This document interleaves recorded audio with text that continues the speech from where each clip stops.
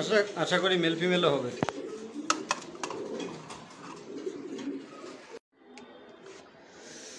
upcoming giant হুমার baby